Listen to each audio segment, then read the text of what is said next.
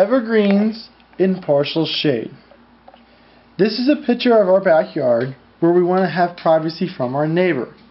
We use Leyland cypresses, hemlocks, Otto Luyken laurels, Japanese box hollies, and we plant them all over in different ways so that it doesn't look like a, just a solid wall, it looks like a naturalized setting.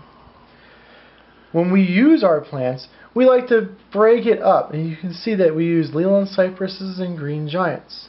Although a Leyland cypress is a full sun plant, it can grow in the shade, it just has different attributes to it. It doesn't grow as thick and as full, but it is an evergreen and it does give us privacy. We also use green giants. They all they do very well in the shade. So that is a very good choice. You can also see that we have PJMs, azaleas, and rhododendrons. This is a conglomerate of different plants to give us the effect that we want. We want to make it so that it's not one solid wall of all the same thing.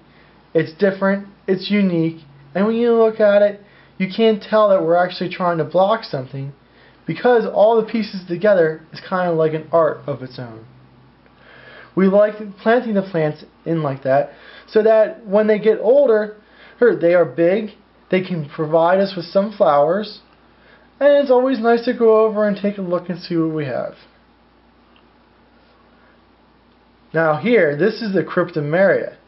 And this is underneath a humongous sycamore tree. And all these plants are shaded by the sycamore. And although they may be shaded, they still grow up and they still provide privacy for us. These are cryptomerias in the full sun. They're just a little bit bigger.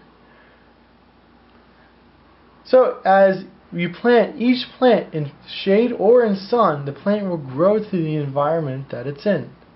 So plants in the full sun that like full sun will grow thicker, faster, and more robust than the ones in the shade. Here you can see we have a full sun plant, and in the back it's shaded with all the different types of viburnums and maples and uh, pine trees. We have all these plants available at Highland Hill Farm. Just come and give, give us a call, and you can see them. Highland Hill Farm is located in Fountainville, PA, in Bucks County. We're situated close to Philadelphia, and New York, so we service the Philadelphia, New York metropolitan area as well as the Washington, D.C. corridor.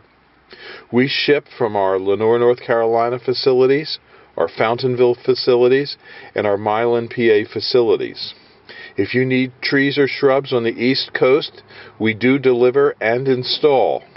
So give us a call at 215 651 8329 for trees and shrubs or if you have a question about trees and shrubs, we'd be glad to try and answer your, your questions.